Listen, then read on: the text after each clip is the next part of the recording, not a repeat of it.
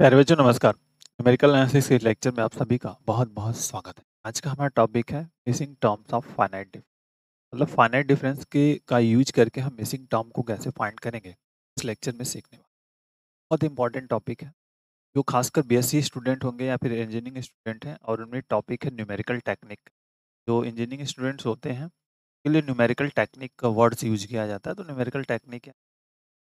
इस टॉपिक से बहुत क्वेश्चंस आपसे पूछा जाता है आपके एग्जामिनेशन में। तो इसको कैसे समझेंगे? स्मार्ट तरीके से उसको करने का हम प्रयास करने वाले ऑलरेडी इस टॉपिक पे वीडियोस मेरा है बट वो बायनोमियल्स का एक्सपेंशन करके बायनोमियल थ्योरम का यूज़ करके हम कैसे उसको मिसिंग फाइंड करते हैं।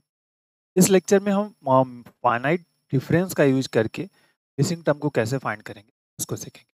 ठीक है जनरली दो तरह के मिसिंग टर्म्स आपसे पूछे जाते हैं वन मिसिंग टर्म्स या टू मिसिंग तो पहले हम आज डिस्कस करेंगे वन मिसिंग टर्म्स को कैसे फाइंड करना है और फिर आने वाले कंटिन्यू लेक्चर्स में सेकंड मिसिंग को फाइंड आउट करते हैं। तो सबसे पहले हमको डेटा की ज़रूरत होगी तो जो डेटा दिया रहता है आपके पास, आर्गुमेंट और एंट्री, इसमें क्या होता है, एंट्री में, जैसे वन मिसिंग टर्म की बात करेंगे तो जो एंट्री होगा, उसमें से कोई ना कोई एक टर्म को मिस कर दिया जाएगा और उसी की वैल्यूज़ आपको फाइंड करनी है। जैसे फॉर एग्ज़ाम्पल अगर हम समझें, बेसिक फार्मूले के कंसेप्ट में समझना स्टार्ट करें स्टूडेंट तो देखिए पहले तो हमको यहाँ पे लिखना है, इस द वन मिसिंग टर्म के लिए हमको इस टोटल लेक्चर में काम करना है। One missing term. ठीक है? और वन मिसिंग टर्म्स में पहला हमारा जैसे आता है, हम लिखते हैं कि आर्गूमेंट। आर्गूमेंट का मतलब हुआ जो एक्स होता है, उसको आर्गूमेंट कहा जाता है। दूसरा हमारा आता है entry. Entry y is equal to होता है तो y equal to f of x हो जाता है। अगर हम इसको स्टार्ट करें तो यहाँ से आता है जैसे x one x two three four dot dot करके एक्शन तक जाएँगे। इसके क्रॉसपॉन्डिंग फ़ंक्शन हम लिखेंगे तो एफ़ ऑफ़ एक्स वन हो जाएगा, इसके एफ़ ऑफ़ एक्स टू हो जाएगा। और मान लीजिए इस एक्स थ्री के करस्पॉन्डिंग जो फ़ंक्शन वैल्यूज़ है वो मिस कर दिया। एफ़ ऑफ़ एक्स फोर फिर डॉट डॉट करके चले गए तो एफ़ ऑफ़ एक्स ठीक है। ये दैट इज़ अ वैल्यू है आपके इस पार्ट की। आप सही से ये बनाइएगा लाइन सीधी आपके पास। तो ये हमारे पास बेसिक फंडामेंटल है तो x3 जो है, आर्गुमेंट, उसके करस्पॉन्डिंग जो एंट्री थी, उसको मिस कर दिया गया और उसी को आपको फाइंड आउट करना है। Find out clear, one missing terms के लिए वर्क करना तो what is the basic concept? तो अब फार्मूलों को हमको लिखना है कि what is the basic formula क्या होगा? बहुत आसान सा कंसेप्ट है। जितनी इज़ नंबर ऑफ़ आर्गुमेंट जैसे एन यहाँ पे एन लिखेंगे एन इज़ इक्वल टू हो जाएगा। और this is the total number of argument n is equal to total number of argument n क्या होगा हमारा? टोटल नंबर ऑफ़ आर्गुमेंट इस पॉइंट को याद रखिएगा टोटल नंबर एन क्या है हमारे पास? आर्गुमेंट मतलब x one x two x three x four up to x n तो एन जो है टोटल नंबर ऑफ़ आर्गुमेंट्स है यहाँ से लेकर के यहाँ तक। तो for one missing term missing term put करते हैं delta power n minus one f of x is equal to zero delta power n minus one f of x equal to zero ये फार्मूला है, इसी को आपको remember रखना है। One missing terms होगा तो डेल्टा पावर जो फॉरवर्ड है ये फॉरवर्ड फॉरवर्ड डिफरेंस टेबल होता है फाइनाइट डिफरेंस भी कह सकते हो आप इसको। तो delta power n minus one f x equal to zero याद रखना है। एन जब वन मिसिंग टर्म्स होगा तो एन में से वन को माइनस करना है एफ़ एक्स के साथ जो भी वैल्यूज़ आएगी, उसको आप इक्वल टू ज़ीरो कर देना तो ये ध्यान रखना है। इसी से हमको डिसाइड हुआ नंबर ऑफ़ टेबल्स कितने हमको बनाने हैं। ये आपका वन मिसिंग टर्म का कंसेप्ट है। दूसरा तरीका ये भी है कि जब नंबर ऑफ़ एंट्रीज हो, उसके बराबर इक्वल्स पुट कर सकते हो। अगर मान लीजिए नंबर ऑफ़ एंट्री एंट्री पे फोकस करें एंट्री पे जाएँगे तो थोड़ा भी कंफ्यूजन हो जाएगा, इसलिए एक ही कंसेप्ट को याद रखिए यहाँ पे। हमको याद रखना है एन की वैल्यू क्या है? टोटल नंबर ऑफ़ आर्गूमेंट्स है। एन क्या हमारे पास है? टोटल नंबर ऑफ़ आर्गूमेंट है। जब वन मिसिंग टर्म की बात होगी बेटा तो हम क्या करेंगे? Delta power n minus one f x equal to क्या करेंगे? ज़ीरो पुट करके कैलकुलेट करेंगे। और टेबल को बनाएँगे। और उस टेबल में जो लास्ट, जैसे फाइव एंट्री है तो डेल्टा पावर मतलब आर्गूमेंट फाइव है तो डेल्टा पावर फोर तक टेबल बनेगा। और डेल्टा पावर फोर के जो लास्ट में जो टर्म्स आएगा, उसको इक्वल टू ज़ीरो पुट करके हम कैलकुलेट्स कर तो ये मेन इंपॉर्टेंट है। ये आपको कहाँ से मिलने वाला है? ये टेबल से। जो फॉरवर्ड डिफरेंस टेबल हम बनाएँगे इसी से। ये कैसे मिलेगा? Forward difference table. Difference table. ये फॉरवर्ड डिफरेंस टेबल से हमको फाइंड आउट हो जाएगा। तो आइए इस पे एग्ज़ाम्पल करते हैं, जिससे कि आपको ज़्यादा कंसेप्ट क्लियर होगा। देखिए, यहाँ लिखा है find estimate missing terms of the following data ठीक है? गैपिंग करके बनाइएगा।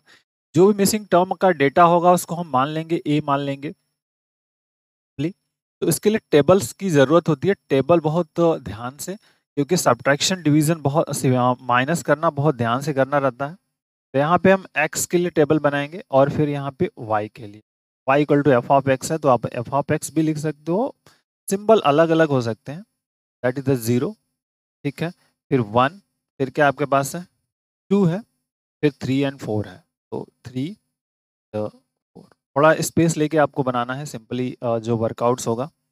उसके करस्पॉन्डिंग में जो एंट्री हमारे पास है, यहाँ पर वन है, यहाँ पे आपका थ्री है इसके करस्पॉन्डिंग यहाँ पे आपका क्या हो गया? नाइन है। और यहाँ पर आपके पास डेटा मिस है तो इसको हम लिखेंगे ए और फिर यहाँ पर एटी ये आपके पास जो टेबल्स का कंसेप्ट हो गया इससे इम्पोर्टेंट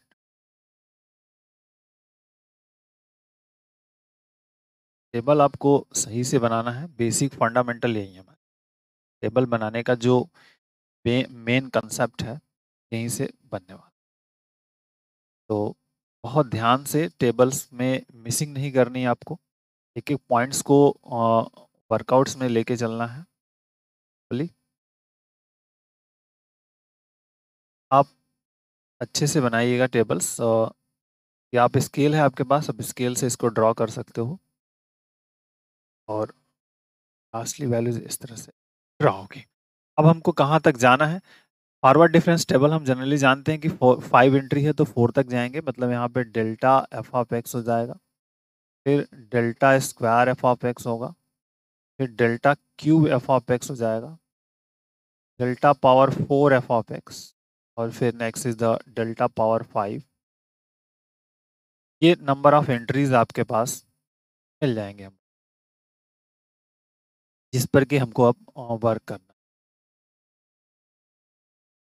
बहुत ध्यान से बेटा तो वैल्यूज़ है।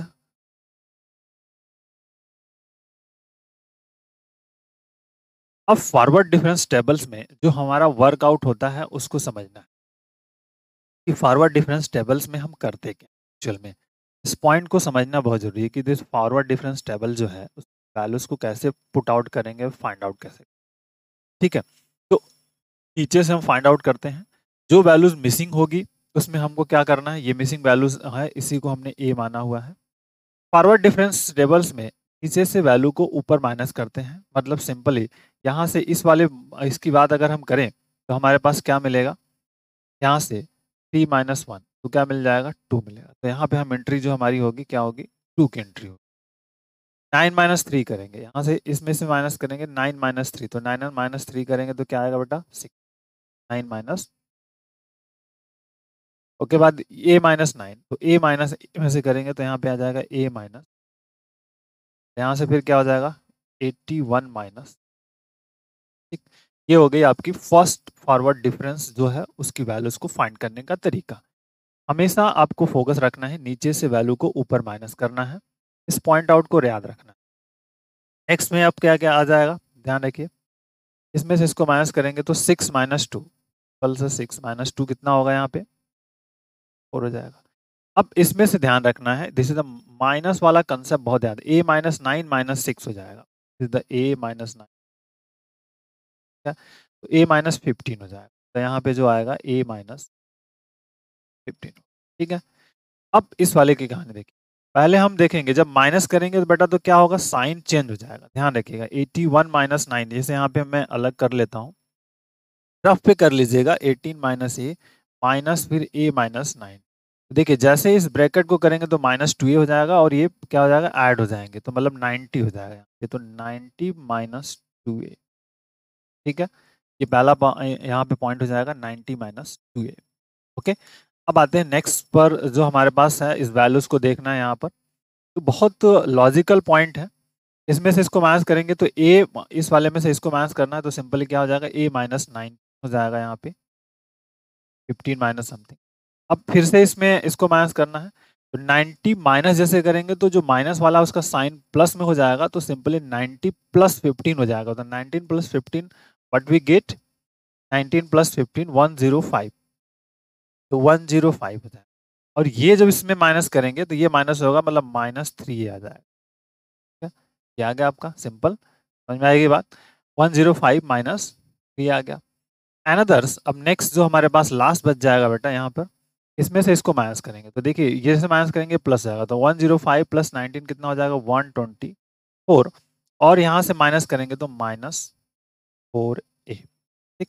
अब आगे कुछ है नहीं तो लास्ट वाले की ज़रूरत हमको यहाँ पर नहीं पड़ी मतलब जो लास्ट वाला कॉलम मैंने फाइव तक बनाया था, क्योंकि एंट्री हमारे पास फाइव है तो फोर तक ही बनता है। ये आपको यहाँ से समझ में आ जाना चाहिए बात। अब देखिए, जो पॉइंट आउट है क्वेश्चंस का एन है। एन क्या हमने लिखा?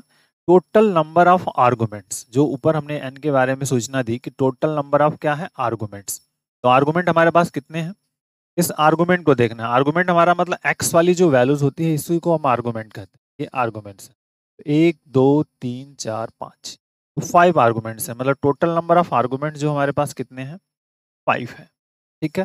ये फाइव हो गए। अब आपको स्टेटमेंट लेते for we know that for one missing term missing term ठीक है? Know that is the delta power n minus 1 f of x equal to 0 ठीक है? तो n n हमारे पास कितना है? फाइव है। मतलब delta power simple 5 minus one f of x zero so delta power 4 f of x ठीक है? ये डेल्टा पावर है, यहाँ इसके लिए y भी लिख सकते हैं यूज़ कर सकते हैं। सिंपली जो वैल्यूज़ है यहाँ पर तो ये आपका इसको अगर y के टर्म में लिखना है तो डेल्टा पावर फोर वाई हो जाएगा y equal to zero y equal to f of x है तो ये भी सिंपल हो सकता है, ये भी यूज़ कर सकते तो लास्ट में जो वैल्यूज़ हमको मिली है, वो क्या मिली है? देखिए, ये मिली है। One twenty four minus four है। बस यहाँ पर सिंपली पुट करना है one twenty four minus four a equal to zero और we get four a equal to one twenty four ठीक है? तो सिंपली ये फाइंड आउट कर लीजिए ए इक्वल टू क्या हो जाएगा आपका? 124 divided by something 124 divided by 4 so now we get a equal to so so, बेटा ये रहा आपका तरीका। This is the missing term को फाइंड करने। वन मिसिंग टर्म्स अगर हमको फाइंड करना है तो कैसे फाइंड आउट हो जाएगा? ए इक्वल टू थर्ट इसी तरह से कंसेप्ट को यूज़ करके अब फाइंड आउट कर लोगे। ठीक है? एक क्वेश्चन मैं आपके लिए दे रहा हूँ। आप इसको मुझे कमेंट बॉक्स में आंसर बताएँगे सिंपली बेसिक कंसेप्ट क्या है? उस पॉइंट को आपको हमेशा रिमेंबर फॉर एग्ज़ाम्पल मैंने एक्स और यहाँ पे लिख दिया। यहाँ से एंट्री आपकी चली जाएगी वन टू थ्री फोर इसके क्रॉसपॉन्डिंग वैल्यूज़ हम यहाँ पे दी यहाँ मिस कर दिया टेन एंड ट्वेंटी तो आपको एस्टिमेट फ्रिक्वेंसीज जो मिसिंग टर्म्स है, वो हम मुझको बताना है। कमेंट बॉक्स में आंसर आप मुझे बताएँगे। ये जो मिसिंग टर्म्स हैं, वो कैसे हैं? वीडियो हेल्पफुल हो तो आप अपने दोस्तों में ज़रूर शेयर करिए। बेसिक फंडामेंटल क्या है? एक बार और फिर से आपको रिवाइज करता हूँ स्टूडेंट बहुत ध्यान से समझिए। जितने भी नंबर आप मिसिंग टर्म्स होंगे, पहले आपको आर्गूमेंट्स और एंट्री दी होगी। तो एंट्री आर्गूमेंट और एंट्री दिया रहता है। एंट्री में कोई एक वैल्यू आपको मिस कर दी जाएगी। क्या की जाएगी? एक वैल्यू बात कर रहे हैं? वैल्यू की बट हियर आपको वन मिसिंग टर्म्स है।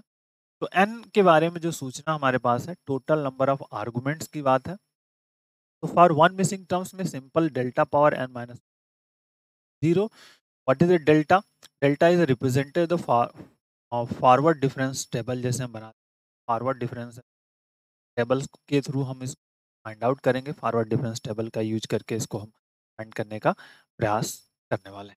ओके अब इसी को हमको जब कोई डेटा दिया रहेगा तो उसको हम क्या करेंगे? टेबल्स को प्रिपेयर करेंगे। टेबल हमको प्रिपेयर करने आना चाहिए। सिंपल तो ये जैसे एक फॉर एग्जांपल है। ये रहा आपके पास टोटल इस पॉइंट आउट का कंक्लूजन ये क्वेश्चंस है। फॉरवर्ड डिफरेंस टेबल्स में हमेशा जो नेक्स्ट वैल्यू है, उससे माइनस प्रीवियस वैल्यूज़ को करते हैं। तो जैसे पहले वाले में निकाल रहे थे तो थ्री माइनस वन किया थ्री माइनस फिर उसके बाद नाइन माइनस थ्री फिर a minus eighty one minus a तो हमेशा आपको कहाँ से जाना है? बिलो से जाना है। Next values minus previous value इस पॉइंट को ध्यान रखना है और जितने नंबर आप टेबल्स बन जाएँगे, उसके अकॉर्डिंग आपको काम कर लें ठीक है? अब फार्मूला जो कहता है कि वन मिसिंग टर्म्स के लिए हमको क्या यूज़ करना है? Delta power n minus one f of x equal to zero मतलब उस पर्टिकुलर कॉलम्स में जब हम बनेंगे डेल्टा जो भी टर्म्स हमारे पास है तो उस कॉलम की जो वैल्यूज़ आएगी, उसको इक्वल टू ज़ीरो पुट कर लेंगे और सिंप्लीफाई करेंगे then we get the missing term ठीक है? ये एक लॉजिकल कंसेप्ट है। इसको आप ट्राई करिएगा जो आपको होमवर्क क्वेश्चन दिया है। और ये अगर आपके लिए हेल्पफुल हो जाएगा, आप आंसर बताएँगे। थिंक मैं समझ जाऊँगा अपने क्वेश्चन को प्रॉपरली समझा है और अच्छे से करा है। फिर भी कोई डाउट्स हो तो आप मुझे कमेंट बॉक्स में बता सकते हैं। जो भी हेल्प हो पाएगा, मैं करूँगा। वीडियो की इसकी पीडीएफ आपको ये टॉपिक जैसे मिसिंग वाला कंप्लीट हो जाएगा। आपको मैं इसका वीडियो पीडीएफ आपको डिस्क्रिप्शन बॉक्स में लिंक प्रोवाइड कर दूँगा, आप वहाँ से Take care. Thank you. Bye bye.